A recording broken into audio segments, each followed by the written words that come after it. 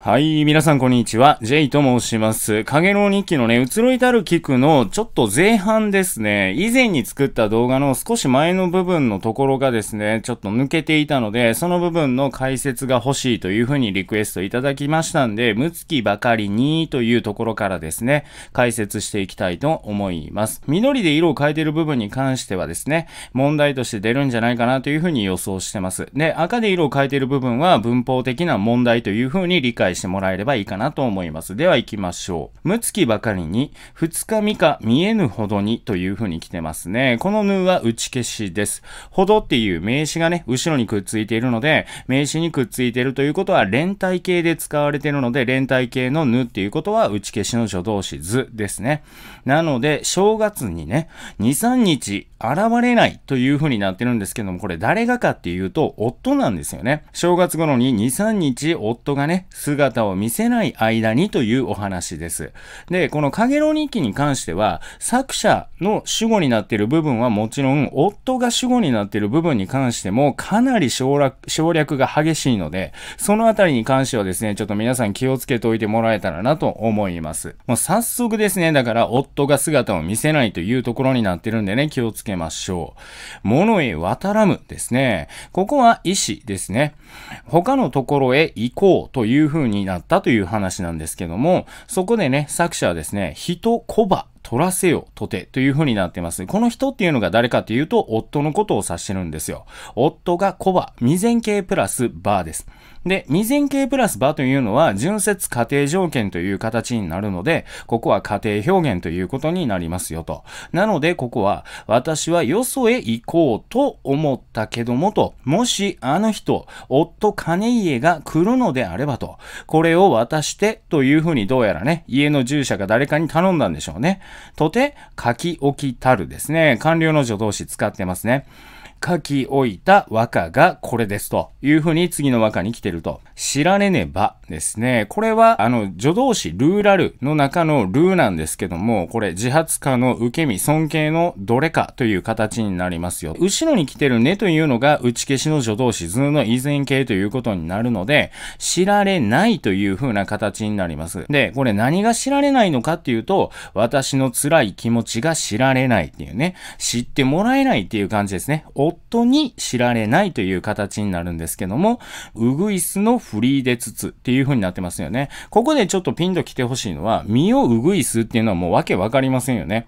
自分の身がウグイスになるってどういうことやねんみたいな、方法結挙な状態ってどういうことやねんっていう形になるので、ここが、あ、掛け言葉があるんじゃないかなっていう風に見抜く一つの方法です。身を浮くのですね。辛いという意味になってるので、身を辛く思うですね。私はですね、このね、振り捨てて出ていこうと思います。何を振り捨てるのかというと、夫の金家のことなんですけども、それとですね、掛け言葉になっているので、ウグイスの方の役も出すとですね、人に知られないウグイスが声を振り絞って泣いているようにという感じになります。なんで、基本表の解釈としてこっちのウグイスを出して、人に知られないウグイスが声を振り絞って一生懸命泣いてるように、私もね、気持ちを知られない私といういうものがですね、身を辛く思って私はそんな私なんですけども、ちょっとね、あなたのことを振り捨ててという感じになってますが、泣きてこそ行けですね。こそは形助詞になってます。形助詞のこそですから、これ行けっていうのは命令じゃありませんと。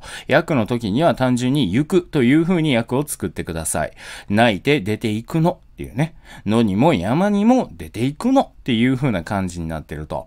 で、えー、話はですね、これ一体筆者は何を言ってんのかっていう感じなんですけど、結局ね、この金家さんという人がですね、なかなかまあ言うたら、まあ石田純一なんですよ。ね。まあ、だからもう、浮気とかもいっぱいしていくわけですね。で、なかなか自分のとこにやってきてくれないと。つまり愛情をかけてくれないから、そんな石田純一にね、もうなんなんみたいな感じで、もう文句を言ったね、和歌を書いてるという感じなんですよ。ここ。だから、掛け言葉になってるのは、うぐいすのうぐと、うっていう、辛いっていう言葉。で、泣くっていうのが、ウグイスが声を上げて泣くっていうのと、自分が涙を流して泣くっていう言葉がね、掛け言葉として繋がってるという感じです。はい。こういう和歌を作りました。帰りごとありですね。どうやらお返事が来ましたね。なんて来たのかなというと、ウグイスのあだにでいかむ山辺にもですね、ウグイスが気まぐれに飛んでいくんでしょうまあ、推量的な感じかな。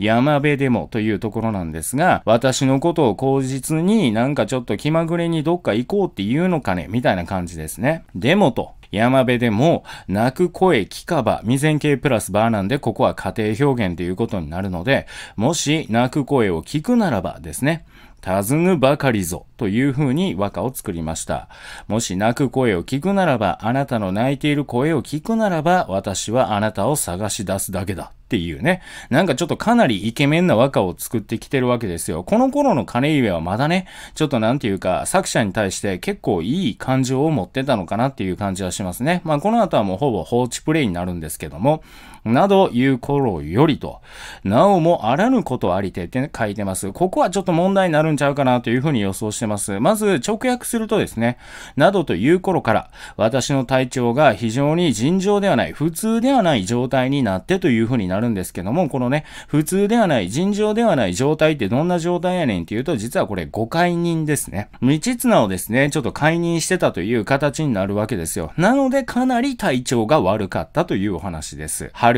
夏、悩み暮らしてですね。春、夏はつわりで非常に苦しんで暮らし、はずき、つごもりに、床を物質。という風になってます。これは官僚の助動詞の通がくっついてるので、8月の末にあれこれ非常に大変であったという感じなんですけども、ここもですね、解釈が聞かれたりするかなと予想してます。どういう解釈かというと、ここは出産したという形になるんですよね。道綱を出産したという話をしてます。そのほどの心映えは死もですね。その時の、その頃のですね、夫の心遣いというのは非常に年んごろなるようなりけりってなってますね。このなりは断定の助動詞のなりですね。そして過去の助動詞のけりがくっついてるので、非常に熱心で誠実なものであった。たという話があって、この後ですね、移ろいたる聞くって言って、まあ気持ちが移っていくみたいな感じの話につながっていくんですよ。えそちらの方はですね、すでにもう動画を作っているので、